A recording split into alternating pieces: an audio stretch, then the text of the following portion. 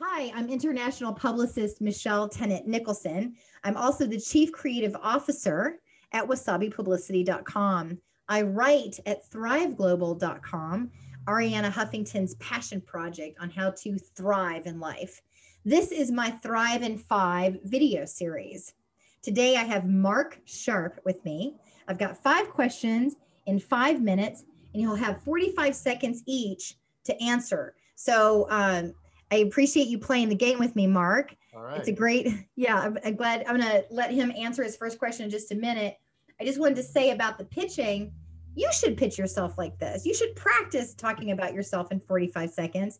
It's what I train people to do every day at Wasabi Publicity and pitchrate.com, which is my personal passion project. It's a media networking site.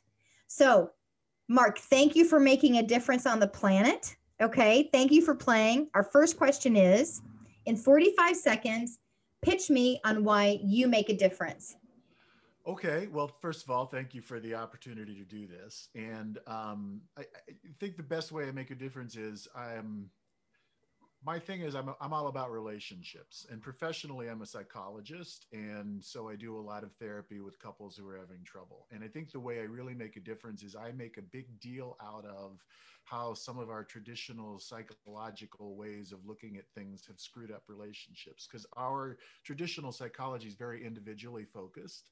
And when people approach relationship problems from that perspective it's oftentimes um, problematic, right? So I really incorporate that into the work I do, but I also try to do education for people about you really need to be able to take a relational perspective. And our society is not good on that. We're good individualists.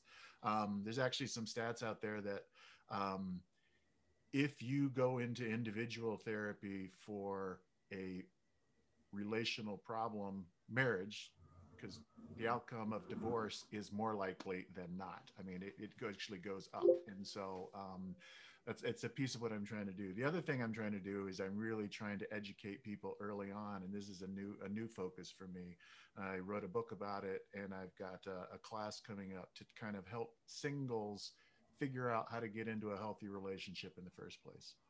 Well, and then why would singles who want to get into a healthy relationship find you credible and want to pay attention to you? Um, well, it's kind of what I've done and thought about for the last.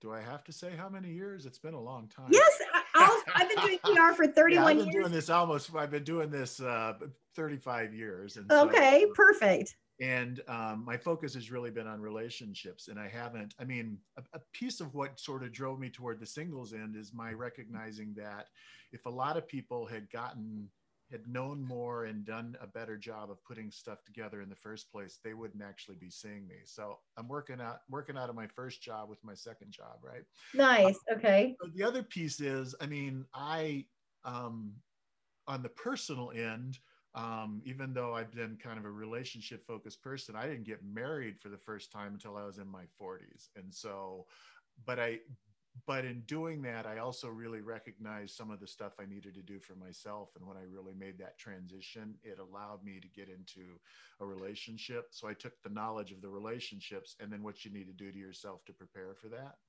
Um, so there's the professional piece, which is what I've been trained at. And then I've actually got a pretty good story about getting into relationship myself. So nice.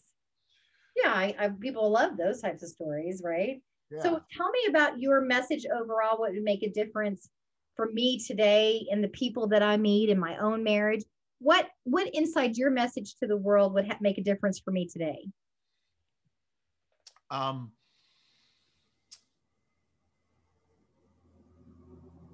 the main thing about, I mean, wow, zero it down to one thing. Forty. Yeah. What's at the end of the day? What's the most important thing? What's, what's the most important thing? You know, for your relationship and for my relationship. Right. The most important attitude probably people can take is that 99% of what um, creates problems in relationships isn't about right and wrong. It's about differences and adapting to it. Okay.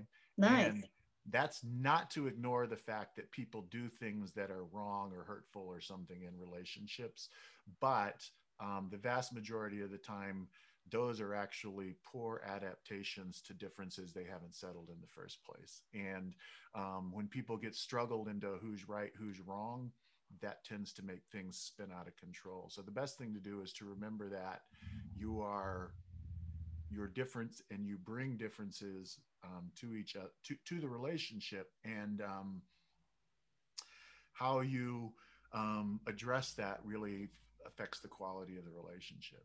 Nice. There's, there's another. Mark how, Mark, how can people connect with you? Um, well, I have a I have a practice in uh, in in Illinois. Um, I've got a website. My um, my practice is called the Aiki Relationship Institute, which is another story. Aiki, I borrowed from the martial art I do, Aikido, which I think has relationship applications. And um, so they can find me online at uh, Aiki, it's A-I-K-I dash relationships.com. Um, that's probably the best way to get a hold of me. Awesome. Thanks so much for playing today. Thank you for having me and allowing me to play. Yeah.